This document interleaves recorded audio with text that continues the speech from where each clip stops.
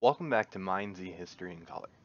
Today we'll be looking at the Alice the Killer Directory Ambition Conspiracy. According to Irish Kaiser, the Alice the Killer Directory Ambition Conspiracy was a major conspiracy designed by Alice the Killer 43 against her ex-boyfriend company member Cyclone 43. The conspiracy's end game was to bring about the removal of Cyclone 43 and the emplacement of Alice the Killer 43 as a member of the UTC's directory. The conspiracy would first start by causing a crisis and blaming it on Cyclone. Throughout mid to late April 2017, Alice convinced many who were unhappy with Irish or bored with the game in general to leave at the same time.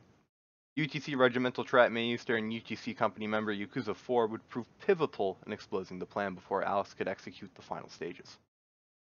On April 30th, 2017, a member of the conspiracy decided to leave early, and the plan was executed prematurely.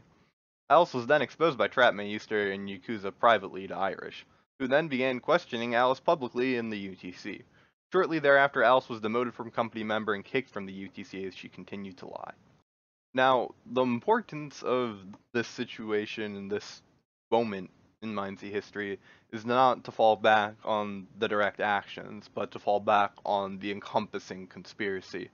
Those three other main conspirators were Gun Overdose, Unmask Me, aka Laroon, and Jam Wizard 2. Jam Wizard was brought on board the conspiracy as Alice promised with Cyclone removed, he could rightfully take over as the regimental captain of the 234th Regiment of Whitehaven. Jam Wizard planned to continue training recruits had the plan been executed properly.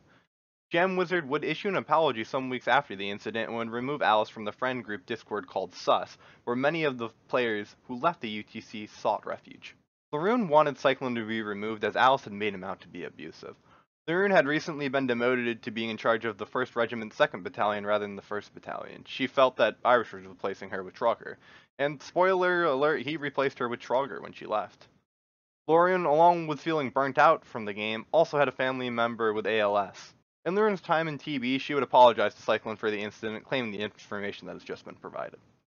Gun Overdose, perhaps the biggest player in this conspiracy, remained unknown as a supporter for nearly a year. Gun successfully went after and removed Cyclone as a regimental captain from the UTC in January 2018. Some two months later, he wrote the following in an issue of the Empire. Editorial. Everything has a price. Usually, I don't write editorials often, however, this has been on my mind a lot recently, and I thought it's worth a damn to share. One of the biggest struggles of being a leader is realizing the truth behind this statement. Everything has a price. Nothing in life, or this game, is free. It comes with consequences or cost. That's just the reality of it. One event to this day that sticks out in my mind is the Alice situation and the prices we paid for it.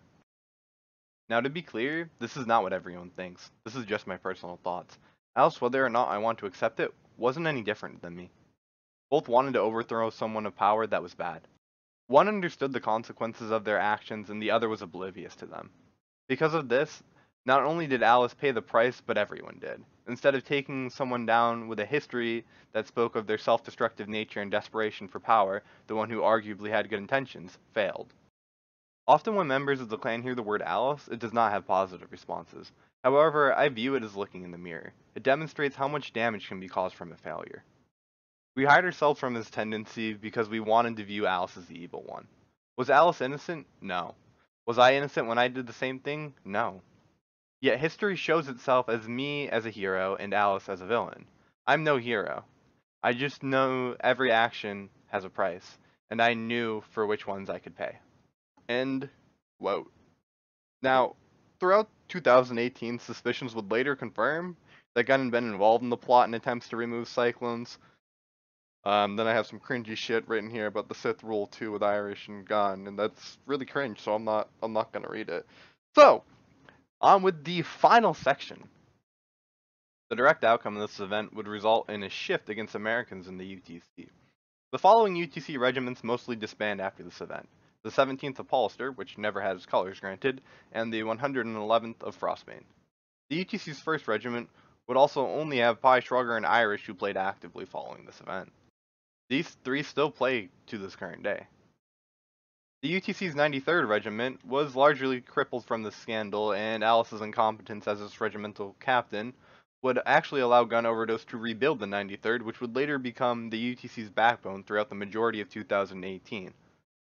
The 234th Regiment remained unaffected by this change, but would later amalgamate with the remnants of the 111th to form the 501st Regiment of Alhassa.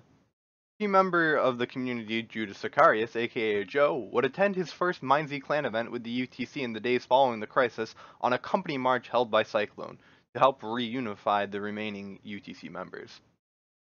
I hope you guys enjoyed this episode of MineZ History in Color. Stay tuned for next week's episode Task Force Chester, led by none other than Furcho.